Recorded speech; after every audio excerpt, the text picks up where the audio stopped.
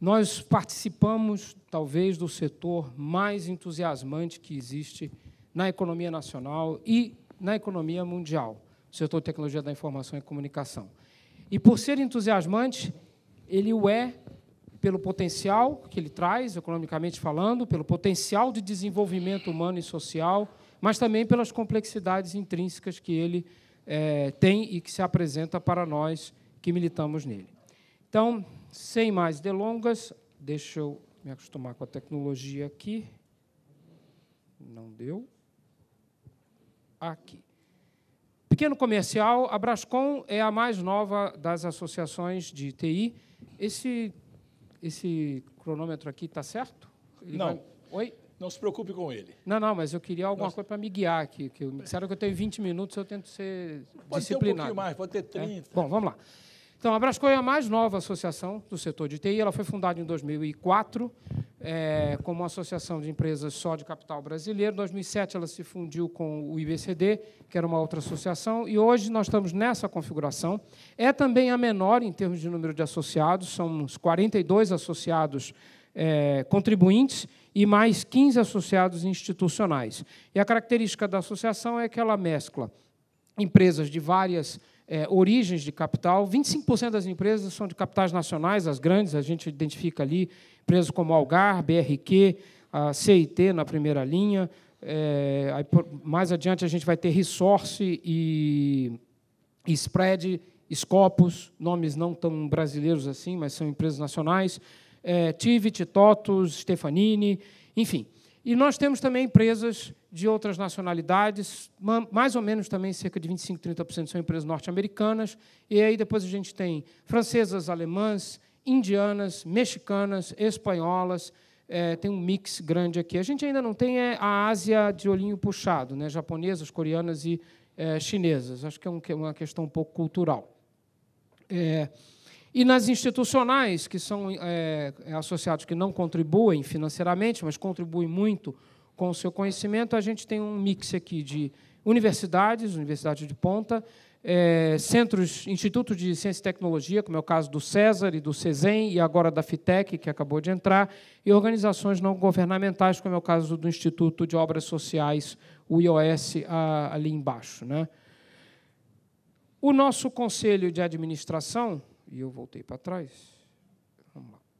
é esse aqui, e ele mais ou menos reflete o, a diversidade que a gente tem. Ah, uma coisa que eu esqueci de falar: mais ou menos 60% das empresas são de serviços, é, cerca de 25% das empresas são de software, e aí software eu coloco empresas como Microsoft, como Oracle, como SAP e como a TOTUS e Lynx, por exemplo, é, que tem no seu modelo de negócio a venda o licenciamento de software, e o restante aí a gente tem empresas de hardware, empresas de semicondutores e até de consultoria.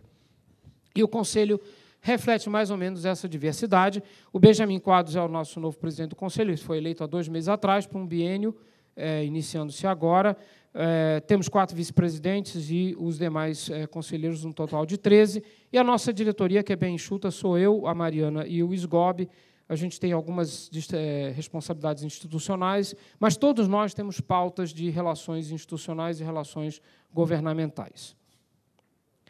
O plano estratégico da Brascom, e eu falo isso aqui como último é, chart de comercial, mas é importante para todo mundo entender, é, ele é dividido em dois eixos estratégicos. A gente deve continuar com os dois eixos no plano estratégico do ano que vem, com alguns ajustes, é, que são os eixos de competitividade e transformação digital.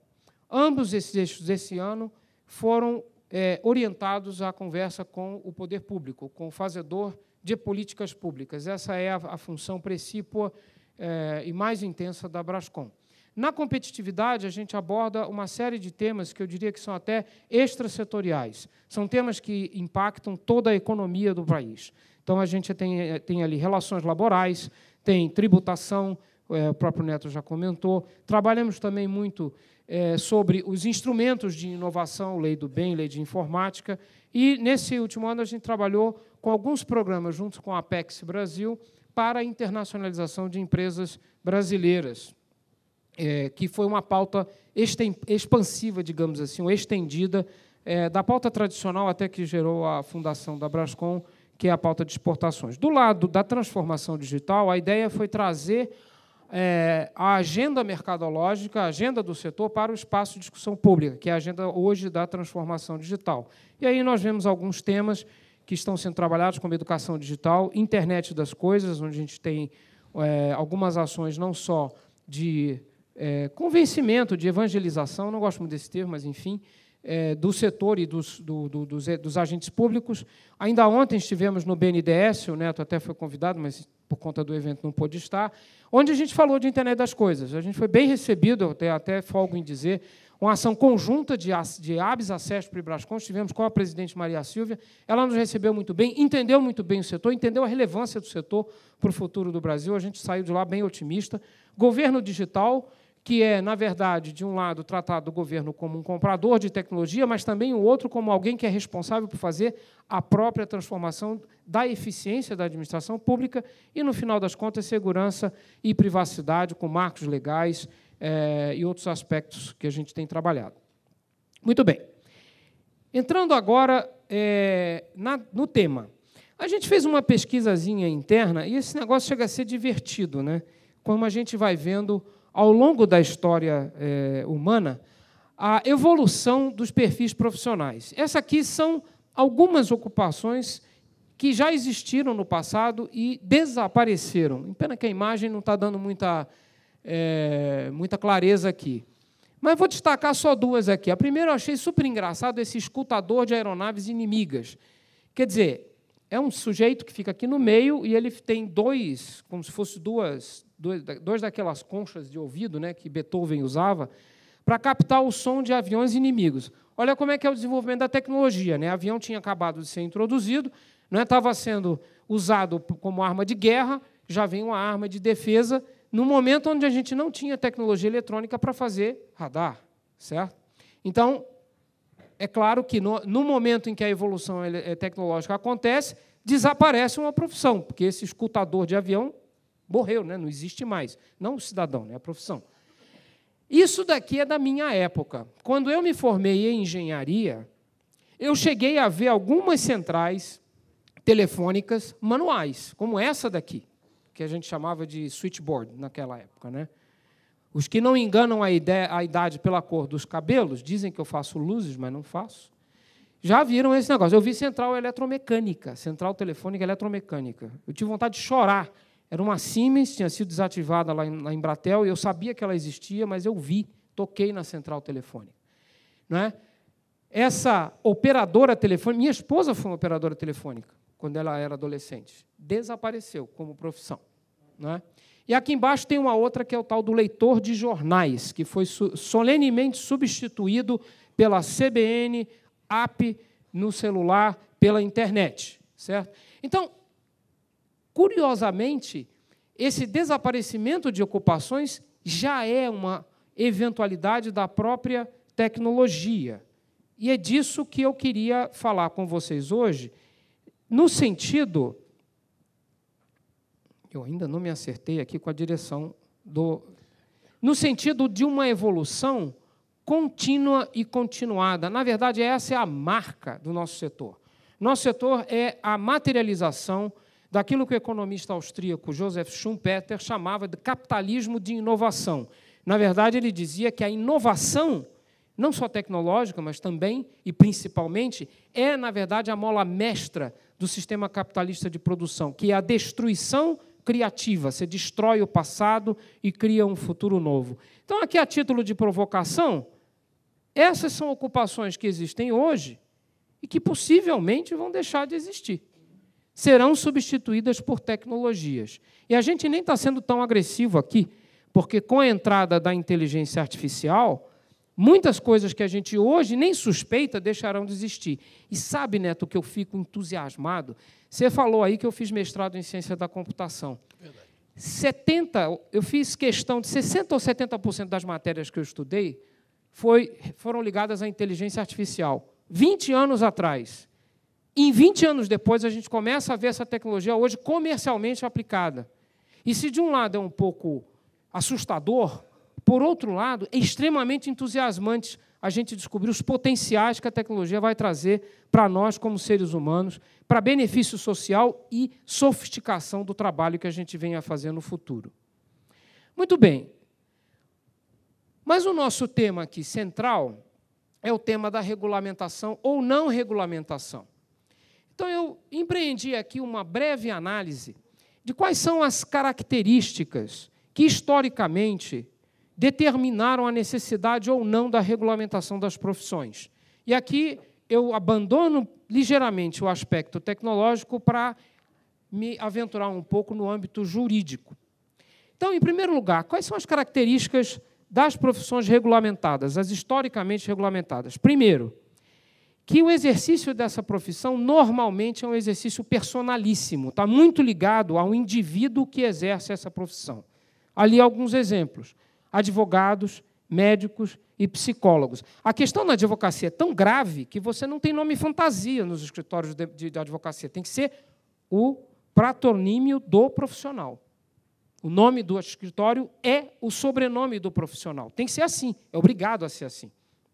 Eu tenho um escritório de advocacia com a minha esposa, que também é advogada, e o nome é, criativamente, solenemente, Galindo e Galindo Advogados. Certo? Médicos, psicólogos, minha esposa também é psicóloga, ela pertence ao CRP, ou seja, profissões que não são exercidas senão na sua característica personalíssima.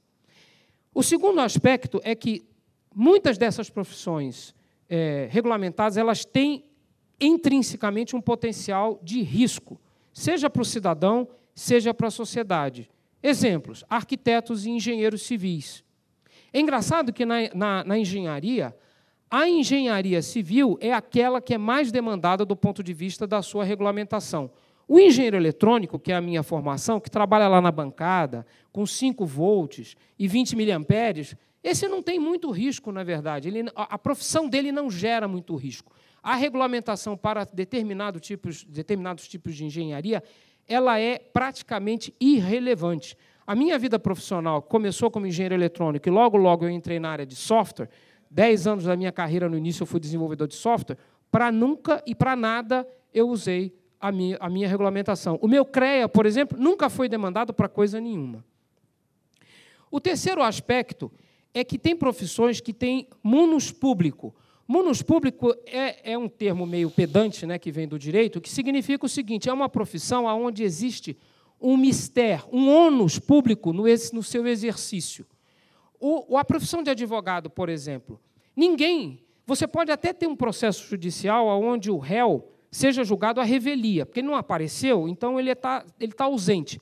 Mas se o réu aparecer, ou se o autor fizer a inserção, é obrigado à presença do advogado. Tem exceção? Tem. Na justiça trabalhista é um pouco mais flexível, mas em todas as demais justiças, o advogado é condição sine qua non para o estabelecimento da justiça. E, independentemente se essa atividade é feita em âmbito profissional ou não. Há muito de advocacia pro bono e a Defensoria Pública veio a reboque disso, de você ter um corpo de advogados estruturados para suprir a necessidade. A mesma coisa acontece com o médico. O médico tem o dever de prestar socorro e ele é responsabilizado pela omissão de socorro, mesmo que ele o faça sem ser em caráter profissional. Se houver um acidente, tiver um médico presente, ele é obrigado, pelo seu munus público, a prestar socorro. E, por fim, evidentemente, vinculado ao segundo ponto, que é o nível de risco da atividade, você tem a responsabilização civil, que nesse caso ela é tipicamente individualizada e normalmente ex lege, ou seja, ela advém da lei. Esse conjunto de características, eles evidenciam que o formalismo da, regulação, da regulamentação profissional se faz necessário para determinado tipo de atividade. Agora, vamos ver a outra ponta do espectro. O que acontece com as profissões não regulamentadas? Contrário ao senso do que a gente pode imaginar, não há uma vinculação específica com nenhuma característica para não ser regulamentado. Então, as profissões regulamentadas elas podem ser, de um lado, profissionais altamente colaborativos, mas também podem ser profissionais personalíssimos. Exemplo, um cantor. O cantor é, é personalíssimo. Se o cantor faltar no evento, acabou o evento. Né? Imagina um show com o Roberto Carlos e vai lá o Carlos Roberto apresentar-se no lugar do Roberto Carlos. Não vai dar certo. Certo? Então, não tem essa característica. Segundo, também depende do nível de especialização. Tá certo? Vamos pensar, por exemplo, no âmbito, você estava falando aqui do, do, pessoal de artes, né, que estava. Meus filhos estão meio nesse, nesse, nesse métier. Meu filho tem uma agência de comunicação, minha filha é atriz, certo? Um ator extremamente bem pago pode-se dizer que é um profissional altamente especializado na, na sua arte, naquilo que ele faz. Não precisa ser regulamentado. Na verdade, o valor está na especialização e não na regulamentação. E no caso das profissões não regulamentadas, a responsabilidade civil que se dá no caráter personalíssimo naquelas profissões personalíssimas, ela é substituída e suprida pela responsabilidade individual, quando aplicável, ou empresarial. E aí é que vem o mais importante. Por quê? Na teoria do, do, jurídica, vocês têm um conceito chamado teoria do risco, que gerou o que a gente chama, no âmbito jurídico, de responsabilidade objetiva. É a empresa que arca com a responsabilidade perante o cidadão. Esse, essa doutrina da teoria do risco gerou, ultimamente, o que a gente chama do da teoria do direito consumerista. Nós temos um código de direito do consumidor. Se houver uma falha de produto ou uma falha do serviço, quem responde é a empresa. E isso é a forma mais eficiente de fazer, porque é a empresa que tem a capacidade de reparar o dano. O que importa da, da responsabilidade civil não é propriamente a punição, e sim a reparação do dano. O, programa, o, problema tava, o produto estava defeituoso, eu quero um produto novo, ou então não quero esse produto, quero meu dinheiro, meu dinheiro de volta. Consequentemente, há claramente um viés de especificidade e necessidade que justifica a regulamentação. Então, não é sem surpresa que das 2.400 ocupações catalogadas no Brasil, apenas 2,8% delas são regulamentadas. Ou seja, a regulamentação é um remédio, é uma pílula a ser utilizada de forma parcimoniosa. Não é? A gente não toma antibiótico quando está com resfriado, com dor de cabeça. Então, a analogia é mais ou menos semelhante. E a valoração da profissão, e é isso que de fato interessa para a gente, ela é função de duas coisas. Ela é condicionada pela especialização, que torna um profissional mais, valor, mais valorado no mercado, e pelas dinâmicas de mercado. mercado laboral continua sendo mercado. Se há mais demanda, sobre o valor do profissional. E é isso que a gente tem que, na prática, se preocupar. No exercício da profissão de TI, a alta especialização, não só a especialização, e o trabalho preponderantemente colaborativo é a característica desse profissional nosso, hoje e do futuro, cada vez mais especializado e cada vez mais inserido num sistema, numa cadeia de produção eminentemente colaborativa. Ou seja, aquele aspecto personalíssimo do exercício da profissão, dentro do nosso setor, ele é extremamente esmaecido, extremamente mitigado. E não sem razão, o nosso setor é o mais pujante em taxa de crescimento, chegando a ter alcançado um patamar de 10% de crescimento nominal médio entre 2010 e 2014. É a China dentro do Brasil. Isso é o nosso setor. Muito bem. O que, que então a gente propõe? Aqui, aqui é uma provocação, eu já demorei demais. Não, Oito ocupações. Vai tranquilo, Scalindo, fique tranquilo. Oito ocupações, por exemplo, que não existiam há dez anos atrás. Quer dizer, do mesmo jeito, com a mesma velocidade que a gente destrói emprego, a gente constrói emprego. Está lá, ó. Desenvolvedor de aplicações. Né? Quando eu comecei a programar, Neto programou também, você programou em COBOL, né, pelo que eu sabia. Eu programava em Assembler e, e em PLM, linguagem para microcomputador, que já nem existe mais. Hoje, programação app, ambiente iOS, ambiente Android, está lá, ó, 1 milhão e 600, 600 aplicativos no Google Play, 1 milhão e meio de aplicativos na Apple Store. Gerente de mídia social. Se falassem isso na época que eu me formei, eu ia dizer, mídia o quê? Coisa completamente diferente hoje. Né? A tecnologia usada para amalgamar as relações humanas, né? estender a capacidade de relações humanas. Não basta só você estar pessoalmente, você pode se comunicar remotamente, trocar ideia remotamente. Motorista de Uber, né? Ou sei lá mais o que, que vão inventar. Engenheiro de carro autônomo. Quer dizer, não só de carro autônomo, antes mesmo do carro autônomo, a gente estava estudando a internet das coisas, e eu ouvi uma palestra de um especialista dizendo que na Alemanha a indústria automobilística contrata cada vez mais profissionais de sociologia, antropologia e psicologia para atuarem como engenheiros cognitivos para avaliar a interação do motorista do carro semi, semi-dirigido, tipo carros como a Tesla. Tá certo? Profissões novas, altamente valorizadas. Mais alguns exemplos. Especialista de computação em nuvem. Né? Antigamente a gente tinha o cara de infraestrutura de mainframe, depois ele passou para. Aí veio a revolução do mini computador, era outra tecnologia, depois veio o PC, aí entra servidor de plataforma alta, plataforma baixa, enfim, hoje é nuvem. Com outros problemas, outras características, segurança da informação, como que eu vou acessar o meu servidor na, na, na rede e não vou ter violação de privacidade ou de proteção de dados? Analista de Big Data.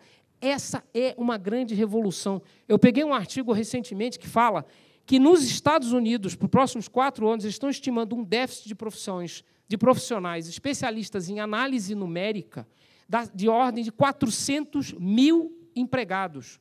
400 mil empregados, gente, é quase o tamanho de toda a força profissional brasileira em software e serviços, só em Big Data. YouTubers.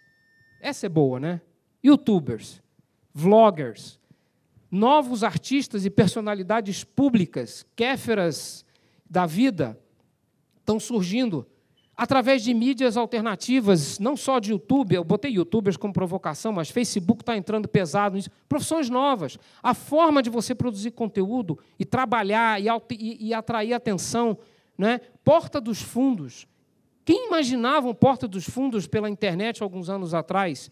E engenharia de tecnologia.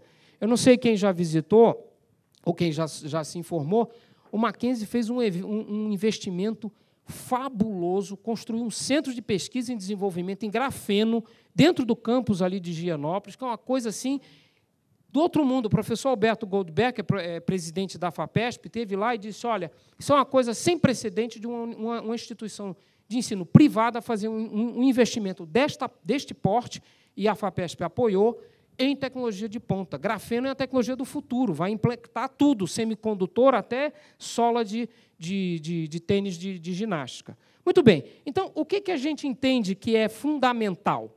Primeiro, atender às expectativas desse trabalhador do futuro. Meus filhos, o que eles querem? Autonomia, quer jornada flexível, quer mobilidade, trabalhar onde tiver, no, no smartphone, no tablet, em casa, no escritório, tanto faz, né? Sal, sal, é, se livrar do trânsito, e meritocracia. Ou seja, todo mundo hoje está buscando que a sua remuneração seja compatível com a sua própria produção. E os mais agressivos, nem emprego querem mais, estão partindo para as startups, para o empreendedorismo. Isso é uma característica intrínseca do nosso setor. Então, o trabalho do futuro precisa atender à expectativa do trabalhador do futuro. E muito dele é o trabalhador jovem e que vem com um alto grau de especialização. Então, os desafios da valorização do trabalho em tecnologia da informação e comunicação são voltando lá no início da minha apresentação e já encerrando, são muito mais na defesa do nosso setor vis-à-vis -vis políticas públicas estruturantes. Um grave problema que nós temos é a informalidade no setor. Né? E eu estou falando aqui de uma associação de empresas, empregadoras, e isso é uma preocupação grande que as empresas têm. A informalidade do setor. Nós fizemos lá na Brascom é, já há um ano que ele foi publicado, um guia de boas práticas laborais, que é um guia bem voltado ao, ao, ao, ao jurídico mesmo. Inclusive, contamos com o apoio aqui do SINDPD para orientar o comprador, né, a empresa compradora do nosso setor e toda a cadeia produtiva do setor o seguinte: faça sim a subcontratação, faça a, a, a terceirização, mas faça direito. Não informaliza, não precariza o trabalho. Porque a nossa terceirização não é precarizante, a nossa terceirização é por superespecialização. É a grande empresa que contrata a média, que contrata a pequena, que contrata o super profissional, aquele especialista naquele módulo do sistema XYZ que acabou de entrar no mercado. E com isso a gente está trabalhando também em uma ideia de autoconformidade. Repara, não é autorregulamentação, porque Na lei laboral, regulamentação é o que não falta, lei tem demais. Que a gente precisa é trabalhar os aspectos de que as empresas saibam que elas estão em conformidade com a lei. Né? O pessoal hoje em dia fala no inglês compliance, é a mesma coisa. Terceirização, segurança jurídica é fundamental. A gente precisa de uma lei para acabar com essa coisa de que a decisão é jurisprudencial. Não, a lei precisa regular e ela precisa fazer uma outra coisa que está ali embaixo no último bullet: valorização dos acordos e convenções coletivas. Na verdade, quando a gente fala em regulamentação, a gente não se dá conta do seguinte: a gente sempre pensa em regulamentação através da lei, mas no direito, a primeira e fundamental o primeiro e fundamental instrumento de regulamentação é o contrato. O contrato regulamenta o que é o que as partes esperam entre si. Quando você faz um contrato de compra e venda de imóvel, você espera como vendedor receber por aquele imóvel e o comprador espera receber a propriedade. Isso é uma regulamentação de uma transação. A relação do trabalho pode e deve explorar os instrumentos de acordos e convenções coletivas como a base da sua autorregulamentação. Essa sim é uma autorregulamentação. Outra coisa importante: tributação adequada e globalmente competitiva. Nós passamos pela infelicidade do desmonte da desoneração da folha de pagamento, com dois agravantes: o aumento da alíquota para 4,5%, ou seja, nós fomos o setor mais onerado no aumento da alíquota, e com a opcionalidade de se voltar com a tributação para a folha de pagamento. O que significa dizer o seguinte: que empresas não tão rígidas do seu ponto de vista do compromisso, tá certo, com o trabalho formal, podem se sentir muito tentadas a volta para a folha, pega o empregado, transforma todo mundo em PJ e eu pago menos tributo. O pior ainda vem. Essa unificação do PIS e COFINS, se vier com a alíquota errada, se não privilegiar folha de pagamento como matéria-prima do setor de serviços, pode matar empresas aqui no Brasil. E veja, o primeiro e maior aspecto de valorização do trabalho é o emprego, é a oferta de trabalho, é a posição de trabalho. Porque é isso que dá para o trabalhador, primeiro, o senso de autorrealização, segundo, o senso de que ele está cumprindo a sua responsabilidade. Tem ali uma série de outras propostas, eu não vou me alongar, quero encerrar dizendo o seguinte: o nosso setor é tão transformacional e tão profundo que começa a surgir dentro das nossas reflexões a seguinte conjectura: de que nós todos e as gerações do futuro precisamos adotar uma cultura multilingual. Todos precisam ter a sua primeira língua. No nosso caso, indubitavelmente, português. A segunda língua é importante que seja uma língua universalizada, que hoje é o inglês. A terceira língua é a linguagem de programação. Todos nós, no futuro, devemos aprender a programar.